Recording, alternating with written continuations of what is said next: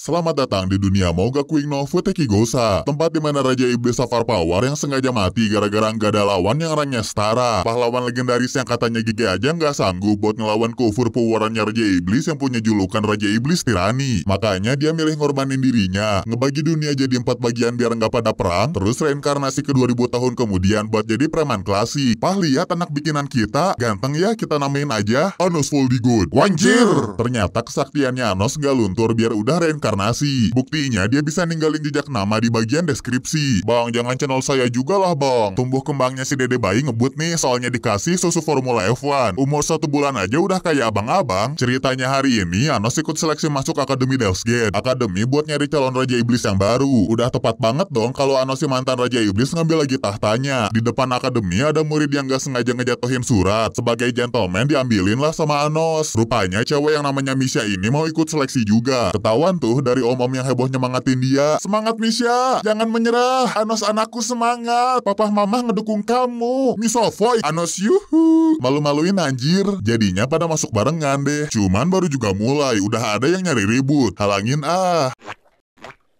Woi nengok dikit kek, si preman yang kesel langsung ngeluarin. Api kegelapan ini akan membumi hanguskan kalian semua tanpa sisa dalam sekejap sampai ke tulang. Huh, lah hilang. Kalau masih so jago, ya tinggal dikontrol pakai kata-kata biar tunduk ke si mantan Raja Iblis. Abangnya bukan reinkarnasi kontrol devil, di ruang tunggu burung ini ngejelasin peraturan buat masuk Devil's Gate. Bakal ada beberapa tes dan tes pertamanya tuh disuruh adu kesaktian ilmu. Ternyata lawannya Ano si preman tadi. Dia ini namanya Zepes, keturunan iblis bangsawan gitu. Makanya tadi dia so jago soalnya tahu orang tua Anos manusia. Masih aja banyak bacotnya. Cuman sekarang dia nggak bisa dikontrol lagi soalnya pakai armor pay to win. Pakai pedang peninggalan keluarganya pula yang bikin Zepes ngebacot. Pedang ini meningkatkan sihirku sampai tak terkira. Wush, ha, senggol deh. Huh. Eh, kok nggak maju lagi kak? Jangan gitu dong deh. Karena kasihan ngeliat kecupuannya, Anos ngepur lah. Dia nggak akan gerak sedikit pun atau ngeluarin sihir. Cuma diem doang juga udah cukup buat ngalahin sebangsawan songong. Kau tuh jangan banyak cakap lah, bertumbuh kita.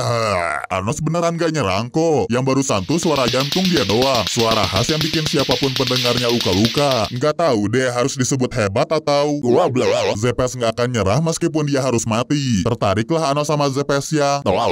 Jadinya mereka bikin kontrak pakai materai sihir. Si Raja Iblis Tirani harus bikin Zepes ngundurin diri tanpa sihir kendali pikiran. Ingat ya gue gak akan nyerah sampai mati. Iya. Oke mati. Yang tapinya dihidupin lagi. Para penonton kaget soalnya sihir itu tuh katanya sihir legenda. Makin jelas lah keopeannya hanya Anos yang bisa ngehidup mati hidup mati hidup mati mati mati. Sampai akhirnya Zepes milih nyerah. Masih ada tes-tes lain di seleksi masuk. Cuman ya kalau tes ngukur kekuatan pakai batu kristal doang nggak akan bisa ngukur kesaktiannya Anos lah. Terus di tes akademik ditanya siapa nama Raja Iblis Tirani. Dengan pedenya ngejawab Anos Voldigood. Kok jadi kayak narsis gitu ya? Bereslah seleksi hari ini. Ternyata Misha nungguin Anos di luar. Pengen balik bareng aja sama orang yang baik ke dia. Jadinya Misha diajakin ke rumah buat pesta-pesta. Langsung pakai sihir teleport yang lagi-lagi katanya sih sihir legendaris. Mah, pulang. Eh, si ganteng udah di sini. Cerita lulus masuk ke akademi, termasuk kenalin Misha teman barunya. Kamu, kamu, kamu baru satu bulan loh. Pulang-pulang udah bawa wifi. Bukan cuma ibunya doang. Ayahnya juga suka langsung ikutan ribut. Keluarganya heboh ya? Ya gimana ya? Lanjut makan-makan, tapinya sebentar doang. Paling gosip-gosip. Ih, ih, ih. Kapan nikah? Baru sebulan loh mah. Makan-makan udah selesai. Tinggal nganterin Misha pulang. Agak iri sih dia sama keluarga cemarannya Anos. Beda banget sama Misha. Yang sebelumnya nyemangatin dia aja cuma pengasuhnya. Kelihatan khawatirlah Anos yang bikin bisa nganggap Anos tuh orangnya baik. Padahal nggak pernah ada yang bilang gitu semasa jadi Raja Iblis Tirani. Sikap baiknya Misha ini bikin Anos mutusin ngejadiin Misha sebagai temennya. Cuman tiba-tiba mereka dicegat sama orang misterius yang ternyata kakaknya Zepes. Gak terima keluarga bangsawannya diremehin Anos yang asal-usulnya nggak jelas. Tapi kalau si adik yang cupu sampai ikutan ngebacot, gak segan-segan buat dibunuh. Pokoknya yang ada di pikiran si kakak, jangan remehkan keluarga bangsawan pewaris Raja Iblis Tirani tirani. Kan saya para Raja Iblis tiraninya. Ngaca deh, bapak yang ngaca. Kalau adu bacot gak bisa, ya udah adu ilmu. Cih, katanya bangsawan tapi keroyokan. Cukup pakai kekuatan mata aja, udah bisa bikin Anos ngendaliin sihir-sihir lawannya. Kakaknya Zepes masih belum nyerah, lagi-lagi sihirnya nggak kerasa. Orang sihir barusan tuh bikinannya Anos. Berhubung sihirnya Anos dipakai, si kakak dipujilah sama dikasih kesempatan. Zepes dihidupin sebagai zombie, yang maksudnya si kakak harus aku sama adiknya. Biar ada kesempatan ngalahin si mantan Raja Iblis. Sayangnya dia baru inget memori masa lalu di saat-saat Zepes nyerang kakaknya. Tetap dihidupin lagi sama Ano soalnya terharu ngeliat tingkah lucu keturunan-keturunannya. Bener-bener nggak ada yang nggak mungkin buat si Raja Iblis Tirani. Ujung-ujungnya semua pada nanya, lu siapa sih? Jangan panik, jangan risau, jangan resah. Raja Iblis yang kalian puja-puja sejak dahulu, Raja Iblis Tirani yang sangat kalian kagumi ini, Pak cepat pak durasi. Akulah Anos Voldigood. Ya, biar udah kelihatan jelas banget kehebatannya, Anos dipandang sebelah mata sama orang-orang. Murid-murid sama sekali nggak nganggep serius omongan Anos yang aku Raja Iblis Tirani. Apalagi ternyata di seragamnya ada simbol misfit yang berarti banyak sih artinya. Ada yang bilang gak cocok jadi penerus iblis, ada yang bilang cupu, ada yang bilang so tau. Pokoknya dianggap hina lah. Dan sebenarnya penyebabnya tuh waktu tes akademik. Anos kan bilang nama Raja Iblis Tirani tuh Anos Voldigod. Tapi yang diketahuin sama orang-orang malah Avos Dilhevia. Makanya mas jangan AFK 2000 tahun. Lanjut ke pelajaran sekolah, bu guru yang namanya Emilia nerangin sihir yang bisa ningkatin kekuatan anggota regu. Nantinya bakal ada kompetisi antar kelompok. Cuman yang boleh jadi ketua kelompoknya murid seragam merah doang, murid keturunan iblis murni, sedangkan yang seragam putih tuh darah nano-nano. Campuran iblis sama ras lain gitulah. Anos yang pakai seragam putih terus punya titel misfit jelas-jelas ditolak dong. Tapi buat ngebuktiinnya, Anos bikin kontrak sama Emilia, di mana dia rela dikeluarin dari akademi kalau gagal. Gampang aja sih buat nunjukin kesaktiannya, tinggal colek-colek sihir barusan yang jadinya makin sempurna. Padahal sebelumnya sihir itu dianggap udah nggak bisa di-upgrade. Akhirnya Anos yang bisa nulis ulang UUD persihiran dibolehin jadi ketua kelompok. Kalau dari kelompok sebelah ketuanya tuh Sasha. Punya nama keluarga yang sama kayak Misha, tapi kayaknya si Mbak Putih ini dianggap beban keluarga. Sasha aja sempat-sempatnya ngebacotin Anos yang mau nongki bareng makhluk macam Misha. Sosokan ngancem pakai mata iblis pula yang gak ada efeknya di hadapan abang ganteng. Biar udah dibikin angin, Sasha masih aja nih sok jagoan. Dia nantangin yang kalah di kompetisi nanti harus jadi babunya si pemenang. Setuju-setuju aja, toh Anos percaya bakal menang. Ya walau kelompoknya cuma berdua doang sama Misha. Misha disuruh jaga kandang dengan bikin ilusi tiga kastil, sedangkan si Raja Iblis Tirani langsung nyerang sendirian ke markas musuh. Mana bisa nyadap obrolan kelompoknya Sasha lagi. Pelindung segimana juga nggak akan sanggup nahan Anos yang bisa ngangkat kastil. Wih, balik lagi.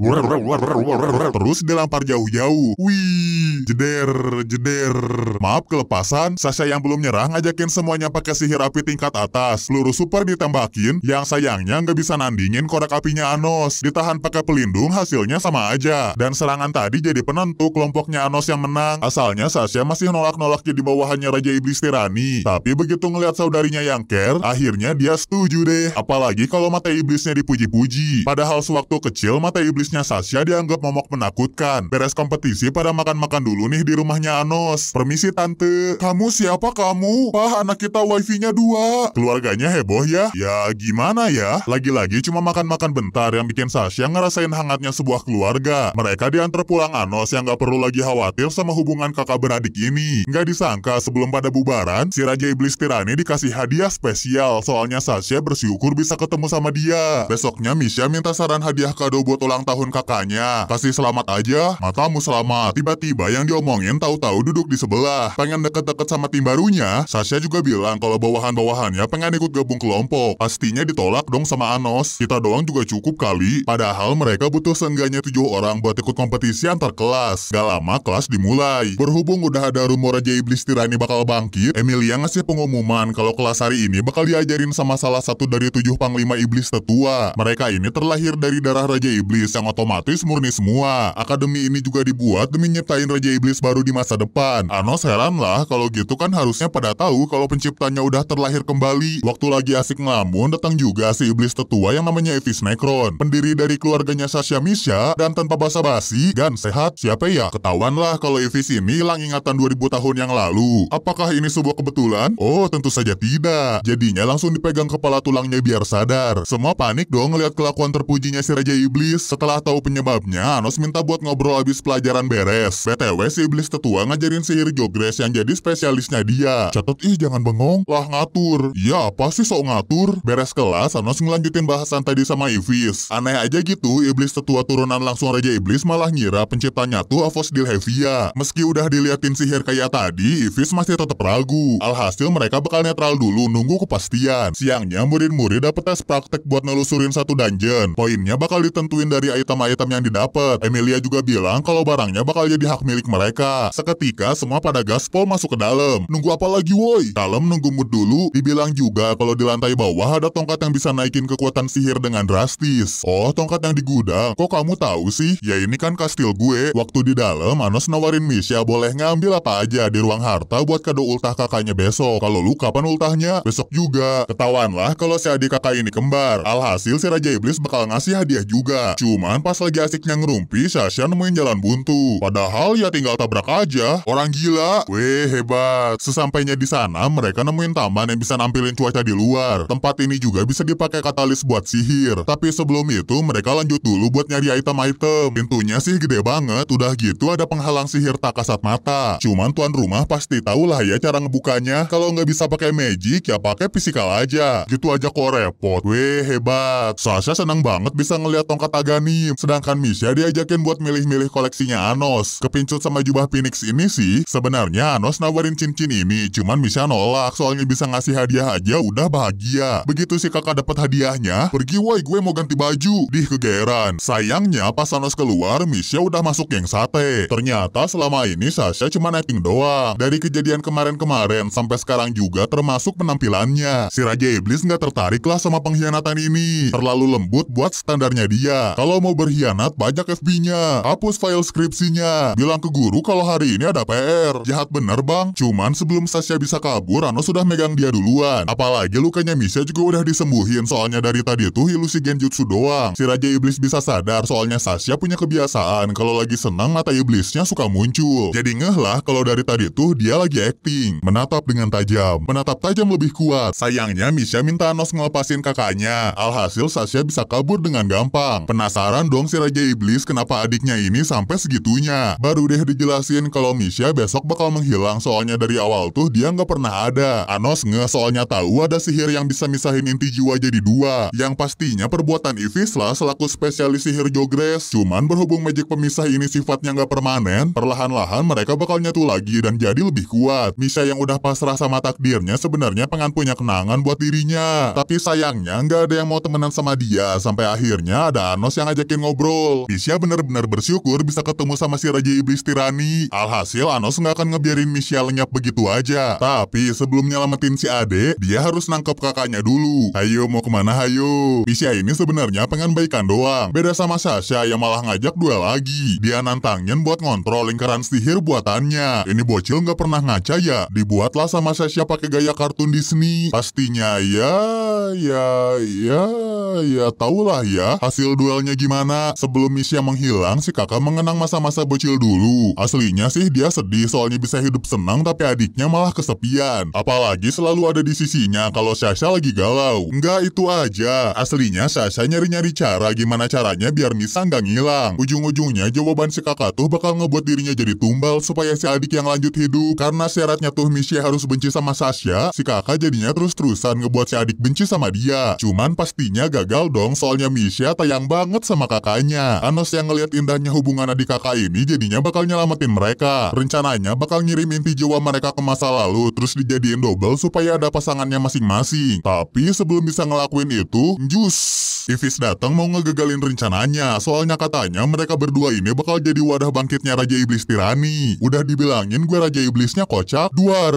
Ti, ti, tidak mungkin. Nih gue balikin lagi, jelek berhubung pengganggunya udah hilang, saatnya lanjut ke rencana time travelnya. Cuman sebelum inti si kembar balik ke masa lalu, muncul setan penjaga waktu, soalnya Ano sudah ngerusak aturan ruang waktu. Alhasil si setan ini narik Ivis dari dimensi lain terus dikasih kekuatan dewa waktu. Mau pakai sihir api terkuat juga ya tinggal dipaus aja sama si iblis tetua. Bikin penghalang banyak juga percuma, yang ujung-ujungnya Anos jadi geng donat. Hahaha, mampus lu. Siapa yang mampus bang? Karena nggak mempan jadinya Ivis ngepaus total semua yang ada di sana. Cuman Anos bisa, Kaget lah si iblis lawannya bisa jalan bebas gitu aja. Udah gitu semua serangannya juga nggak ada yang berhasil. Nggak itu aja, si kembar juga bisa lepas dari pausnya soalnya percaya kalau Anos adalah sang raja iblis tirani. Dengan ini inti Sasha Misa berhasil ke masa lalu dan mereka bakal hidup tanpa ada yang hilang. Si raja iblis juga udah nggak segan-segan. Berhubung mereka dari tadi tuh ada di kastilnya, dia samanlah pedangnya yang bisa ngebelah orang sampai ke jiwa-jiwanya. Langsung aja dia colok terus surring. Aku adalah Anos Voldigood. Begitu udah balik ke kastil, Anos ngehidupin lagi Fis yang pastinya sekarang udah tobat. Ditugasin lah sama si Raja Iblis buat investigasi siapa Alphonse di Elhevia. Disuruh tanyain ke Iblis tetua yang lain, terus berhubung masalahnya si kembar udah beres, Kui balik lagi supaya dapat nilai 100. Udah ngalahin Dewa Waktu masih peduli sama nilai pak. Sesampainya di luar, Misha Sasa yang udah baikan seneng dong soalnya sekarang bisa akur tanpa takut kehilangan. Gak lupa Anos juga ngasihin cincin esnya buat Misha sebagai hadiah ulang tahunnya. Kamu juga HBD ya? Ih apa sih bu, bukannya aku seneng ya diucapin sama kamu? Dan hari ini berakhir sama Anos yang ngajakin mereka makan-makan lagi di rumahnya. Terus ngasih itemnya kapan bejir? Sebelum lanjutin ceritanya, ada flashback dulu nih waktu Anos masih jadi Raja Iblis Tirani. Ya sekarang juga masih sih. Dia sama bawahannya lagi ngelawan roh air yang bisa berubah jadi naga bonar. Si om bernama Sin ini nggak mau majikannya turun tangan. Jadinya nawarin diri lah buat ngelawannya. Dan bener aja si naga bisa dikalahin dengan mudah. Ngeliat ini, Anos bakal ngabulin satu permintaan. Sin mintanya sih pengen direinkarnasi barengan sama majikannya. Gak lama kemudian, kanon si pahlawan datang nantangin Anos. Cuman dia aja yang gak bisa dibunuh, soalnya inti jiwanya ada tujuh. Kalaupun hancur satu, ya sisanya bisa ngebenerin yang rusak. Udah kayak kucing aja, Jir. Balik lagi ke masa sekarang, Sasha seneng lah soalnya fix dapat nilai sempurna di tes dungeon kemarin. Cuman sebelum itu, Emilia ngasih pengumuman, bakal ada murid pindahan yang katanya master pedang sihir. Baru deh dibilangin kalau tongkat yang tim Anos temuin hilang dibegal, alhasil mereka dikasih nilai KKM. Jelas protes dong dikasih alasan gak logis gitu. Nggak cuman Sasha, murid yang namanya Misa ini juga nggak terima. Cuman ya bakal percuma ngasih tahu iblis elit tapi tolol kayak mereka. Jadi deh Anos yang turun tangan. Tadi katanya dibegal kan? Tanpa basa-basi, dia cabutlah tongkatnya dari dalam figuran ini. Terus dikasihin ke Emilia. Pinteran dikit kayak kalau mau nipu. Pas istirahat, Misa bilang makasih udah bantuin dia tadi. Woi woi jangan deket-deket woi. Eh iya sorry. Misa juga ngasih tahu kalau dia tuh termasuk kelompok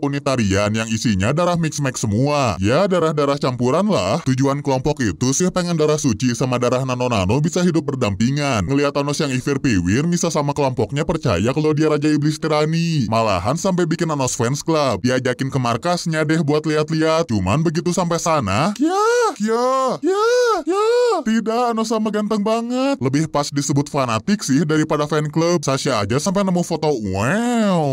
Yang bikin dia jadi mikir yang iya-iya. Gak lama Misa ngeliatin pedang yang cuman sebelah doang. Katanya sih hadiah ulang tahun dari ayahnya. BTW si ketua fan club ini setengah iblis setengah roh. Cerita masa lalunya ditelantarin sama orang tuanya gitulah. Begitu juga sama anggota yang lain. Alhasil Misa minta buat join ke tim Anos. Tapi nggak semudah itu dong jadinya bakal dites dulu tekad mereka. Besoknya ada tes buat nyebut pedang sihir. Yang jadi penilainya dua orang ini yang termasuk tujuh iblis tetua. Semuanya pada kesusahan. Cuman kalau buat si Raja Iblis, tinggal ditatap doang pedangnya ngedatengin sendiri ke dia. Nggak disangka ada murid yang bisa nyebut juga. Ternyata dia ini si murid pindahan bernama Ray. Langsung aja mereka ditantangin sama iblis tetua buat latihan. Cuman Anos sama Ray bisa dengan mudah bikin turu mereka. Beres ini di kelas, si master pedang ngedeketin Anos. Aku join tim kamu boleh? G, so jago bejir. Si Raja Iblis bilang kalau mau join timnya harus punya tekad yang kuat. Mumpung kompetisi rutin antar tim selanjutnya tuh besok, Anos jadinya nyuruh Ray buat join Misa sama fan clubnya biar sekalian aja gitu soalnya mereka juga belum dites. Kita langsung aja ke pertandingannya. Misha langsung buat kastil es pakai cincin barunya. Sasha seketika maju buat ngehadapin member fan club yang udah bikin golem. Sedangkan Anos teleport ke tempatnya Ray. Gue pakai ini juga cukup, jangan sok jago lu. Pindah ke Sasha yang dibilangin buat bikin sihir api tingkat atas bareng Misha. Agak ragu sih, kan mana mungkin cuma berdua doang. Cuman tetap dilakuin dan bener aja mereka bisa nembakin sihir itu dengan sempurna. Soalnya kan inti jiwa mereka juga udah sempurna, otomatis kekuatan sihirnya makin kuat. Sayangnya Sasha kena tebas dari belakang yang bikin dia luka. Cuman wush, dia keluarin jubah Phoenix-nya. Nggak sampai di situ aja, Misha datang buat ngebantuin kakaknya. Mereka ngegabungin sihir masing-masing supaya bisa ngalahin semua murid sekaligus. Dikirain udah aman, taunya si Raja Iblis sama si murid pindahan malah jedak-jeduk di tempat lain. Tiap tebasannya bisa ngancurin segala macem. Udah gitu mereka kelihatan menikmati adu pedangnya. Oke, agak susih, tapi ya ya gitu. Ujung-ujungnya Anas bisa menangin duelnya, tapi Ray bisa ngebelah sedikit rantingnya. Si rambut putih juga bilang, kita kayaknya pernah ketemu ya Gan? Gak tahu lupa Gan? Sebenarnya Anos juga ngerasa familiar sih sama Ray, jadinya bilang deh kalau dia tuh Raja Iblis Tirani. Nah, beres pertarungan yang membuat pecinta alam ketar-ketir, gak afdol dong kalau belum makan-makan di rumahnya Anos. Uh, anak mamah jago deh. BTW yang join ke timnya Anos cuma Misa sama Ray doang. Soalnya sisanya belum nyampe ke standarnya si Raja Iblis. Gak lama abis itu, Ray sama Misa lagi deep talk di luar. Si Pura Pedang nanyain kalau si ketua fan club ini sering sakit apa enggak.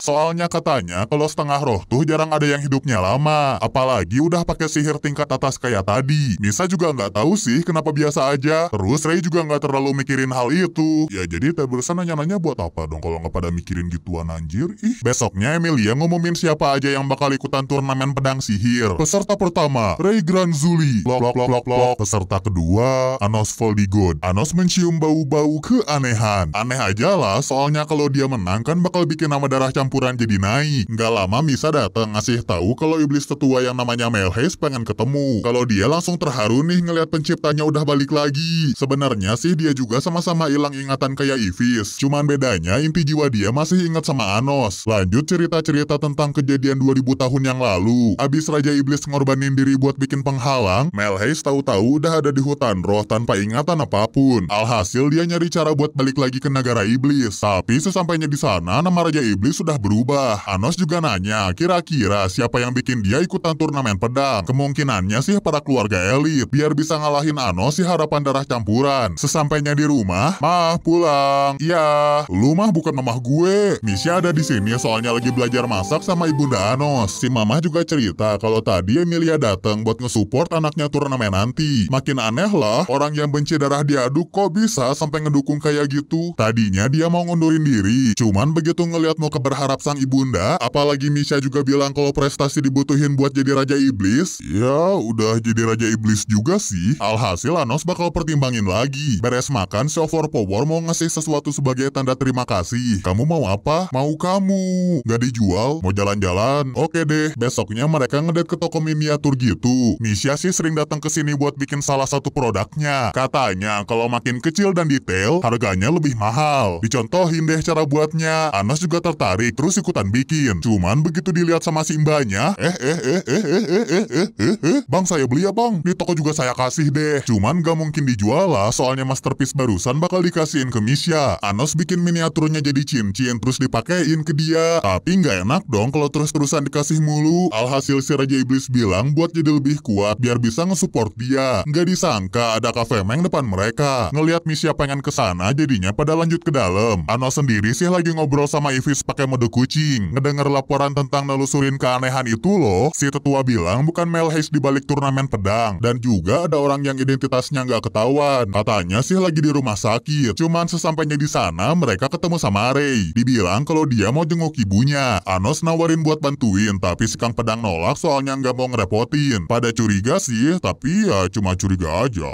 Ya cu, curiga doang lah bebas. Akhirnya tiba juga hari turnamen. Gak usah ikut kali mah, kan aku bakal ngundurin diri. Tenang aja kan papa. Papa kenapa? Enggak kok enggak. Enggak apa-apa beneran swear. Dadah. Ivis datang lagi ngasih laporan kalau Melhes nggak ada campur tangan sama turnamen ini. Tapi beda kalau ngomongin dua tetua yang di one hit race sama Anos kemarin-kemarin. Dibilang juga kalau ibunya si pendekar pedang tuh hidupnya nggak lama lagi. Muncullah lawan pertamanya Anos yang ternyata kakaknya Emilia. Disebutnya sih pendekar pedang terkuat di organisasinya. Suasananya makin jelek nih buat Anos. Soalnya si Raja Iblis waktu dipanggil nggak keluar-keluar yang bikin dicaci maki sama penonton. Ibunya Anos nggak terima lah anak kesayangannya dikatain. Alhasil si ibu teriak buat ngebela dia. Pas juga si ayah datang ngasihin pedang buat tanding. Udah gitu bocor pula kepalanya. Alhasil Anos gak jadi ngundurin diri dan bakal maju demi orang tuanya. Cuman udah ketebak lah ya, pastinya bukan lawannya. Sambil disemangatin lagi sama mbak-mbak idol ini. Mau pakai jurus apa pun ya tinggal belah. Terus dibalas sama 64 totokan Neji yang bikin lawannya hancur sama pedang-pedangnya. Ya anak kita hebat pah. Iya iya anak kita jago. Kakaknya Emilia bingung dong kenapa dia bisa kalah lawan pedang murahan. Dibilang lah ini adalah kekuatan cinta orang tua yang bikin semua penonton terkagum-kagum. Sementara itu Ray juga bisa ngalahin musuhnya dengan easy. Tapi anehnya dia malah ngewakilin organisasinya para iblis elit dan bukan sekolahnya. Dibilangnya sih karena bakal terjamin gitu masa depannya. Malahan sampai bilang, aku akan membunuhmu iblis rendahan. Ayo sini cobain. Swiss. Jeleb. Ya udah sampai ketemu lagi Gan. Yo hati-hati Gan. What the fuck? Berkat barusan Nanos jadi tahu kalau di jantungnya Ray ada semacam kutukan yang bakal aktif seandainya dia berkhianat. Artinya si Master Pedang ini lagi diancam seseorang. Kita skip aja lah ya pertarungan kroco-kroconya dan langsung ke sore hari di mana semuanya pada ngasih semangat ke si Overpower. Sini nah pedangnya ibu bawain. Ya udah nih. Eh buset, aman aman. Member fan club juga pada nawarin diri buat ngejagain kanjeng Mami. Anos sendiri langsung teleport ke tempat ibunya Ray di rumah sakit. Mungkin aja ini penyebabnya Ray jadi aneh. Begitu dilihat, ternyata badan si ibu bejir hologram. Katanya sih penyakit ini termasuk langka. Ngeh juga sih kalau dia ini bukan orang tua kandungnya. Ray yang keturunan iblis murni nggak mungkin kan ibunya darah campuran. Soalnya si ibu ini kena penyakit yang cuma dialamin sama para roh. Nggak lama kemudian orang tuanya Ray bangun. Aslinya sih dia ini selalu sadar. Makanya tahu kalau Anos tuh teman anaknya. Sering diceritain sama Ray kalau lagi jenguk. Si ibu juga sadar kalau anaknya lagi diancam demi pengobatan dia. Dikasih tahu lah kalau penyakitnya ini berhubungan sama rumor atau tradisi. Abisnya kalau rumor tentang inti rohnya ini di mana-mana, daya hidup mereka juga bakal lebih kuat. Tapi sayangnya si ibu nggak tahu kalau rumor inti rohnya tuh apaan. Alhasil dikasih dulu pengobatan pertama, yaitu tethering kuota masa hidup Misa buat si ibu. Selagi transfer, Anas ngerasain ada hal yang gak beres. Dan benar aja ibunda Raja Iblis lagi dicegat sama Emilia yang pengen ngambil pedangnya biar Anos nggak bisa tanding di final. Ayo siniin, gak mau, siniin, gak mau. Alhasil si guru BG pakai cara kekerasan. Anos fan club nggak ngebiarin hal itu dong. Mau badan mereka rusak segimana juga tetap nggak akan nyerah asalkan ibunda Raja Iblis bisa kabur dari sana. Dan sebelum Mamah Anos kena serangannya, untungnya si Misfit datang nahan serangan si guru. Begitu ngelihat perbuatannya Emilia, seketika dia langsung dibikin nge-freeze. Dilanjutin ngobatin ibunya dan semua member fan club. Aku berterima kasih kepada kalian semua. Izinkan aku tahu nama kalian. Nangis dong mereka ngelihat sang idola bakal ngingat namanya seumur hidup. Woi guru Tolil, udah siap modar? Seketika Anos teleport dia ke arena buat disiksa. Siapa nama rajamu? Rimuru Tempest. Jeleb, siapa nama rajamu? Ainz Olgun. Slash. Mati. Nggak mungkin lah gitu doang beres. Alhasil Emilia dihidupin lagi tapi jadi darah campuran. Udah gitu Anos ngutuk si mantan guru. Kalau misalkan dia reinkarnasi pun, selamanya bakal jadi darah campuran. Syukurin. Makanya jangan racing jadi orang. Balik lagi ke Misa yang lagi tethering. Lagi ngapain lu? Sharing kota bang. Begitu tahu tujuannya, Ray langsung bikin Misa pingsan biar Simba nggak ngelewatin batas. Ibunya yang sadar juga bilang kalau dia bahagia udah ketemu sama Ray. Sekaligus bilang jangan ragu-ragu ngayunin pedangnya di final besok. Akhirnya tiba juga turnamen final part akhir The Final. Sebelum dimulai, dua-duanya dikasih gelang dulu. Dibilangnya sih kalau gelangnya hancur autolus. Padahal sebenarnya fungsinya tuh buat nyedot kekuatan sihirnya Anos. Kalau punyanya Ray sih ya cuma aksesoris doang, tapi tetap aja si Raja Iblis bisa nyaingin kekuatan si murid pindahan. Perintah yang diterima Ray juga sih aslinya buat ngelur waktu sampai Anos kehabisan mana. Tapi nggak mau lah duel mereka ternodai sama hal kayak gitu. Alhasil si Master Pedang ngelukain dirinya yang bikin kutukannya aktif. Berkat ini dia bisa bertarung sesukanya tanpa aturan-aturan gak jelas. Duelnya aja sampai nggak bisa dilihat sama penonton saking cepetnya. Dan pas serangan terakhir, Anos bisa nusuk inti jiwanya Ray meskipun kehilangan lengannya. Gara-gara ini, lingkaran sihir di arena aktif dan mereka dikirim ke dimensi lain. Pelakunya bukan lain adalah Melhaze. Dia berkhianat meskipun tahu ngelawan penciptanya. Nggak cuma itu aja, si tetua manggil temannya yang kemarin di one hit sama Anos Ray. Pada pede lah, soalnya nggak mungkin kan ngelawan tiga iblis tetua bersamaan. Cuman karena mereka goblok, gak sadar kalau lawannya tuh penciptanya. Ences. Dua tetua bisa dikalahin dengan easy. Ray juga udah siuman soalnya colokan tadi tuh ngancurin kutukan yang ada di inti jiwanya. Cuman Melhes masih punya cara lain yaitu dengan nyandra ibunya Ray. Kalau kamu nggak mau dia mah, bunuh aja nggak apa-apa. Kata-kata barusan bikin si tetua lengah. Alhasil si rambut putih bisa masuk ke dimensi ibunya. Dengan ini dimulai juga gelutnya Anos. Ngelihat lawannya masih bisa bertarung meski udah disedotin sihirnya bikin Melhes kabur dan nyerang dengan sembunyi-sembunyi. Ray yang di dimensi lain juga tetap bisa dilindungin sama si Raja Iblis. Ujung-ujungnya si pendekar minta Thanos buat bikinin pedang supaya dia bisa ngelawan. Tapi ya tetap aja mereka kewalahan. Kepaksa deh ibunya ngorbanin diri supaya jadi pedang anaknya. Dia ingat kalau wujud roh aslinya tuh sebuah pedang, makanya bisa ngelakuin ini. Dan langsung aja semua bisa ditebas dengan mudah. Keingetan juga hal pertama yang dia tebas tuh panci pakai pisau. Malah ngerusak si anjing. Ray yang pakai ibunya ini kuat banget sampai dimensi aja bisa dibelah sama dia. Ini pun jadi perpisahan sama orang tua tersayangnya. Jangan sedih dulu kan kalem. Seketika Melhes ngebelenggu Anos pakai sihirnya. Cuman ya bukan masalah dong buat dia. Diliatinlah kekuatan sebenarnya. Si Raja Iblis ngesamen pedang iblisnya yang bisa motong apa aja. Senjata ini beneran overpower. Soalnya meski serangannya nggak kena, ya tetap aja bisa kena. Benar-benar tak ada logika. Alhasil Melhaze bisa dicolok jidatnya. Ketahuan lah kalau bawahannya ini lagi dikendaliin sama orang. Katanya sih dia ketangkep pas beres ketemu sama Anos. Dua tetua yang kroco juga dihidupin lagi sama dia biar balik normal. Sempat ada orang yang ngeliatin sih, Cuman gak akan dikejar soalnya percuma juga. Sekarang waktu udah balik kayak semula dan dengan ini Anos menangin pertandingan finalnya. Si Raja Iblis juga bilang kalau dia bisa menang berkat pedang buatan orang tuanya. Pedang sihir tidak akan bisa mengalahkan pedang yang dibuat dengan cinta. Dari rumor barusan yang kesebar ke seluruh kota, Anos jadi bisa ngehidupin ibunya Rey dengan mudah. Soalnya daya hidup roh kan bisa lebih kuat kalau rumor sama tradisinya banyak yang tahu. Anos yang udah juara pastinya dikasih hadiah dong. Nih cepet ambil. Dih Judes. Nggak itu aja. Si Raja Iblis dikasih cookies karena udah menang turnamen. Bu, bukannya aku mau nyium kamu ya? Cie, malu-malu. Akhirnya beres juga deh turnamen sihir yang panjang ini. Beberapa hari setelahnya, mereka dapat guru baru yang ngegantiin Emilia. Dia ini namanya Historia. Orangnya baik, nggak racing kayak yang kemarin. Pada bingung lah soalnya nggak tahu apa yang terjadi sama mantan gurunya. Tapi yang penting sekarang Historia ngasih pengumuman kalau bakal ada kelas gabungan sama sekolah pahlawan beberapa minggu lagi. Berhubung belum pada ngerti soal manusia, dijelasinlah tipe sihirnya mereka.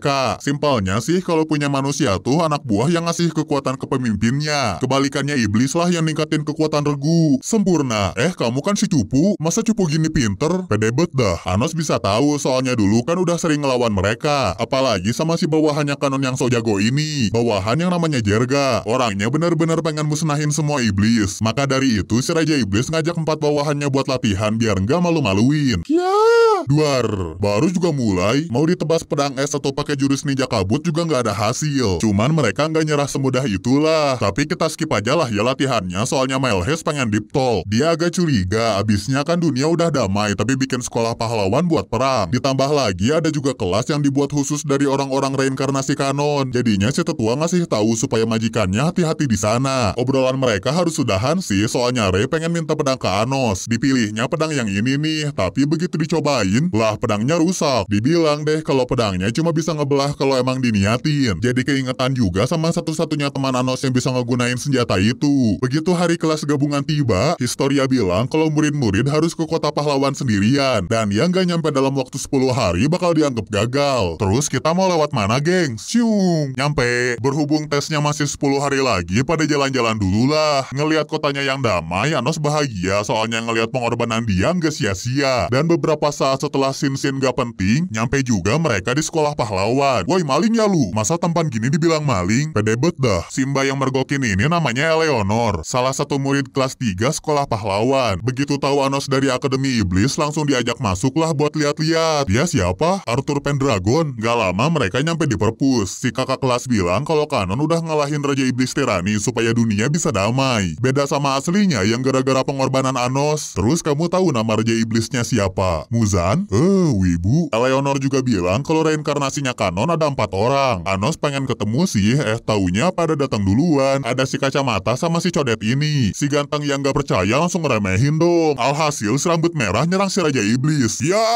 kedip duar. Imitasi jangan banyak bacot. Sebelum pulang, Eleanor yang kaget gara-gara kuatnya Anos ngira kalau dia ini kenal sama Kanon yang asli. Dibilangin lah kalau dia pengen nyari temannya sampai kapan pun gak akan pernah ketemu. Soalnya si pahlawan udah dibunuh sama manusia 2000 tahun yang lalu. Terus beberapa hari lewat, sekarang tiba juga nih hari kelas gabungan. Anos masih kepikiran kata-katanya Eleanor kemarin-kemarin. Cuman gak disangka dia dicegat sama kakak kelasnya bernama Rives. Yang heran kenapa si Raja Iblis ini bisa datang cepet. Ya teleport lah kocak. Meski udah dibilangin, tetap aja si kakak kelas nggak percaya. Dan setelah perkenalan dari masing-masing perwakilan, dimulailah kelasnya dengan demonstrasi sihir kedua sekolah. Yang dipilih dari kubu pahlawan si kacamata. Sedangkan dari kubu iblis si kakak kelas tadi. Kanon imitasi praktekin sihir yang bisa ngubah pedang rusak jadi bagus lagi. Sedangkan Rives, bim salah bim abrakadabra. Lah kok sihirnya dia nggak ngefek sama sekali. Segini doang sekolah iblis. Anos yang tahu ada pelindung anti iblis nggak diem aja dong. Dia langsung praktekin sihirnya yang bisa nerobos pelindung tadi. Malahan pedang yang barusan dibenerin sama si kacamata aja bisa dijadiin pedang suci sama Anos. Semua langsung pada ngira kalau si ganteng ini reinkarnasi Raja Iblis Tirani. Raja Iblis mata lu picok. Lihat seragamnya di atas cupu. Lah lu yang geblok ngelihat kekuatan kayak gitu masih nggak percaya? Bener bang, kasih tahu bang. Malamnya ada Ivis nih yang mau laporan tentang investigasi sekolah pahlawan. Nggak ada yang aneh kok. Kecuali ada legenda yang katanya tuh kalau mereka berdoa, kanon bakal muncul lagi dan menerangi kegelapan yang ada. Simpelnya sih foreshadowing reinkarnasinya Anos lah. Nggak lama si kembar ngajakin buat ke festival bareng-bareng. Katanya ini tuh perayaan wafatnya jarga bawahannya kanon. Di sana mereka ngeliat Ray lagi berduaan sama Misa. Anos yang mau ngegangguin pastinya dihalangin lah sama Sasha. Si ketua fan club lagi sedih soalnya orang-orang di sekolah pahlawan tidak ramah. Alhasil Ray ngehibur si Mbak deh. Sekaligus ngasih hadiah kalung sebagai tanda terima kasih udah nolongin ibunya kemarin. Besoknya ditanyain dong sama yang lain kalung barunya. Ray sih lempeng aja meski tahu semalam mereka diliatin. Udah diceritain asal muasal kalung kapal juga tetap biasa aja. Kamu punya perasaan gak sih? Begitu nyampe di tempat tes kedua, Anos bingung kenapa Leonor nggak hadir. Cuman ngapain lah ya mikirin yang kayak gitu soalnya tes kedua udah mau dimulai nih. Tadinya sih biasa aja, cuma begitu dipanas-panasin sama kepala sekolah pahlawan, Rivers langsung ngajuin diri buat maju. Sebenarnya Anos penasaran si kakak kelas orangnya kayak gimana. Alhasil bu guru ceritain deh kalau dia tuh anak baik dan pantang menyerah. Dimulai juga lah pertandingannya. Sekilas sih nggak ada yang aneh, cuma lama-kelamaan sihir mereka jadi bermasalah. Pastinya Anos sudah tahu dong soal ini. Penyebabnya tuh gara-gara ada air suci yang dicampurin di danaunya. Alhasil timnya Rivers bisa dibantai dengan mudah. Bu Historia yang protes juga nggak digubri sama si kepala sekolah.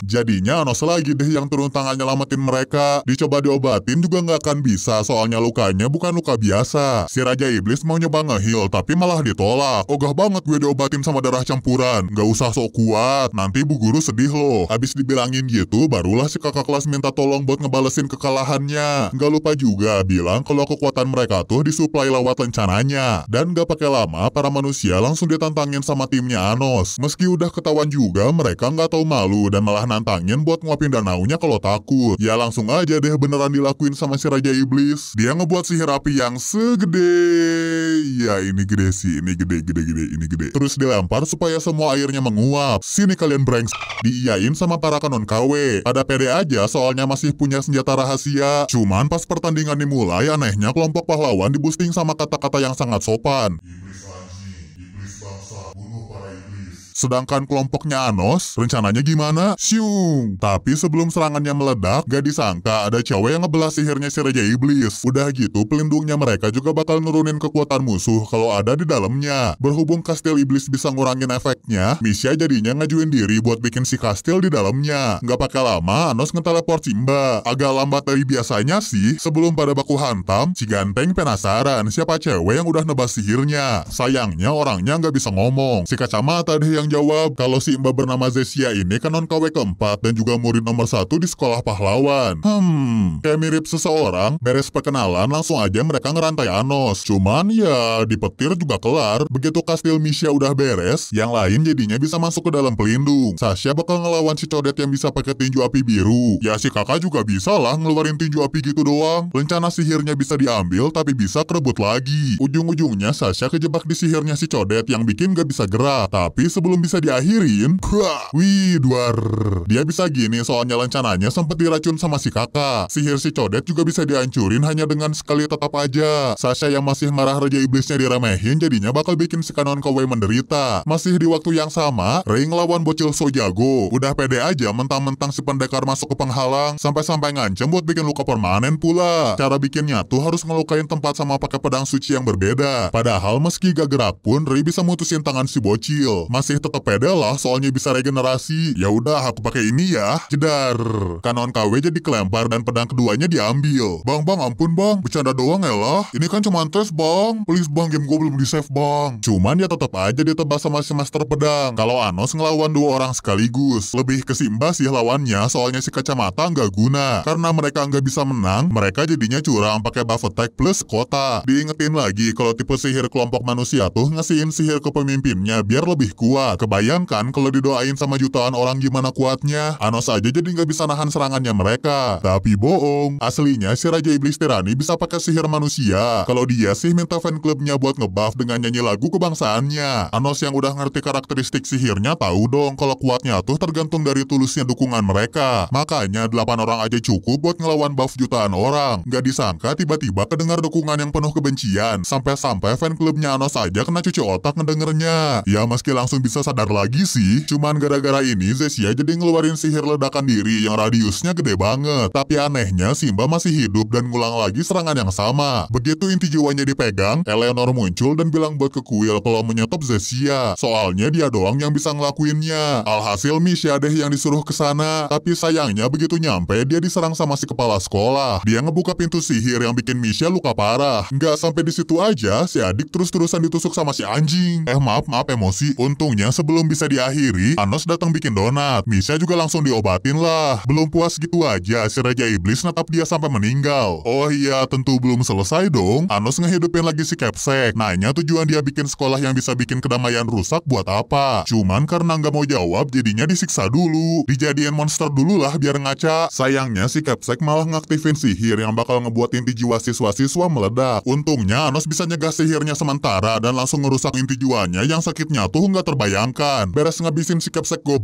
Anos lanjut ke tempat Eleanor sambil ngegendong Misha. Di sana yang mereka temuin tuh malah boba-boba hitam. Sama boba beneran, uhui. Dibilangin lah kalau si kakak kelas ini tuh sebuah sihir. Ya emang disebutnya sih manusia sihir. Ternyata sumber kekuatan para kanon KW juga asalnya tuh dari Eleanor. Sebelum ngobrol-ngobrol, mereka harus ngatasin dulu sihirnya si Capsek yang tadi bakal ledakin semua muridnya. Si kakak kelas bisa ngatasin sih asalkan dia keluar dari pelindungnya dan gak pakai lama, duar, syung. Bener aja semua siswa bisa selamat dari kematian. Habis itu barulah Eleanor speak-speak kalau dia tuh udah ngeklon 10.000 Zesia. Makanya dari tadi Anos hancurin tetap muncul lagi. Dikasih tahu juga kalau sihir ini tuh dibuat sama jerga bawahannya kanon. Saking dendamnya dia ngelakuin ini soalnya pengen musnahin seluruh iblis. Takut aja ntar generasi selanjutnya ngelupain dendamnya makanya ajaran sekolahnya berfokus buat ngebenci para iblis. Eleanor juga ngeliatin ingatan yang masih tersisa dari 2000 tahun yang lalu, di mana Kanon dihianatin sama anak buahnya sendiri. Dan semenjak itu si pahlawan gak bisa ditemuin reinkarnasinya. Ujung-ujungnya sih si kakak kelas minta Anos buat ngebunuh dia supaya semuanya berakhir. Sedihnya para Zesia gak pengen ibunya mati begitu aja. Jadinya minta si Raja Iblis buat nyelamatin dia. Gak disangka si Capsek datang lagi. Dia ini gak akan pernah mati selama Eleanor masih ngesuplai mana. Tapi lebih gak disangka lagi nih, ada tiga iblis tetua datang sama Avos Heavy yang ngambil pedang sucinya kanon. Si Capsek yang mau nyegah juga bisa dimusnahin dengan gampang. Habis ngasih salam perkenalan, mereka langsung pergi dari sana. Beberapa hari kemudian, Pak Capsek ngumumin kalau Raja Iblis Tirani udah bangkit. Gak mau kalah, Avos juga ikutan bikin broadcast ngajak semua iblis buat ikutan perang lawan manusia. Yang mulia Raja Iblis sudah kembali. Solid, solid, solid. Puja mau sadao. Hah? Sementara itu, Anos lagi rapat sama keempat iblis tetua buat ngatasin masalah ini. Niatnya sih si Raja Iblis pengen ngelakuin semuanya sendiri, tapi bawahan setianya nggak mungkin lah ngebiarin itu, termasuk teman-teman kelas dan fan clubnya juga. Beres itu, Ray deep talk dulu sama Misa kalau dia janji bakal balik lagi ke sisinya. Mau aku pasangin ini nggak bang? Besoknya setelah briefing tugas masing-masing, mereka pada berpencar kayak si kembar yang ngejagain bagian barat atau Ray Misa di bagian timur. Kombonya calon bucin ini lumayan ampuh sih buat ngalahin musuh-musuh, sedangkan Ano sama bawahannya langsung teleport ke kastil Avos buat Baiwan. Pastinya ngebasmi kroco-kroconya dulu dong pakai sihir apinya, masih tetap bisa bertahan dan langsung nyerang begitu ngeliat Thanos. Padahal yang sekali injek aja bisa bikin mereka rata. Lama datang juga nih tiga iblis tetua yang bakal dilawan sama empat iblis tetua. Cuman sebelum Thanos bisa masuk ke kastilnya, bisa panik soalnya Rey nggak bisa ditemuin di mana-mana. Si Raja Iblis juga tahu kalau Avos nggak ada di dalam. Alhasil dia bikin tembok China biar si KW nggak bisa kabur. Seketika mereka langsung bergelut dan langsung paham kalau orang di depannya tuh kanon atau lebih cocoknya disebut Rey. Aslinya sih si Raja Iblis sudah sadar semenjak dia ngasih kalungnya buat Misa. Soalnya tahu cerita legenda kalungnya yang udah ada 2000 tahun lalu di kota pahlawan. Padahal dia kan turunan iblis. Awalnya sih ngira Rey itu reinkarnasinya Sin si pendekar pedang. Kemungkinan akhirnya Rey itu reinkarnasinya kanon. Udah gitu bisa pakai senjata suci pula. Alasannya Rey ngelakuin ini soalnya tahu kalau manusia bakal tetap nyari cara musnahin iblis. Alhasil dia motong takdir, di mana Anos bakal bangkit lagi jadi Raja Iblis. Dan sisanya tinggal sejarah yang berkata, berkat hal ini terlahirlah Raja Iblis Gadungan. Jadinya sekarang Rey bakal pura-pura jadi dia. Bakal ngorbanin dirinya supaya dendam para manusia terpuaskan.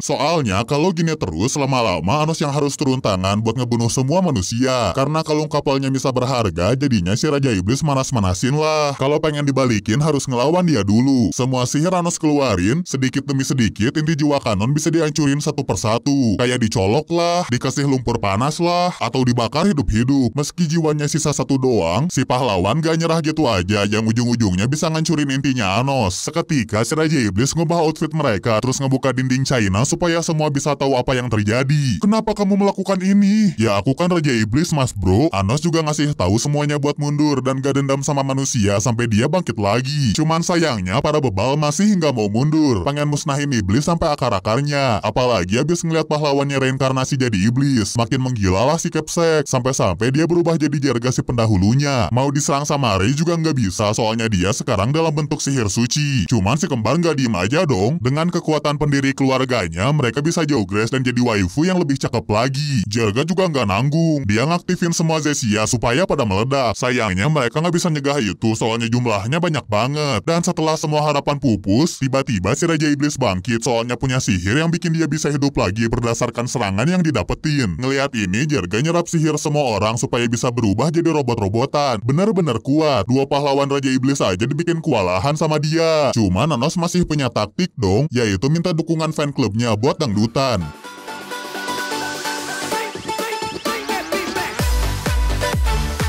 Lagi-lagi Jerga nggak mau kalah dan ikutan nyerap doa-doa para manusia. Alhasil dia bisa nyiptain pedang banyak banget. Untungnya para iblis sekarang sadar kalau Anos tuh emang beneran raja mereka. Jadinya pada tetap diem buat ngebantuin. Berkat ini juga pahlawan Raja Iblis bisa musnahin Jerga sekaligus ngakhirin pertarungan yang sebenarnya nggak perlu ini. Senang dong si kembar bisa ketemu lagi sama Anos. Apalagi Rey yang gak jadi dikasih bendera kuning. Kalau Eleanor sih bisa dibebasin soalnya sekarang sihirnya dibikin jadi milik si Raja Iblis. Alhasil nggak ada lagi yang bisa ngontrol dia sama Zesia. Begitu pulang ibunya Anos kaget lah. Ngeliat cewek cakep lagi. Anakku bawa istri ketiga. Bukan ih, aku cuma jadi sihirnya dia aja. Apa bangga sama kamu? Selesai juga deh alur cerita anime mau gakuin no Futeki.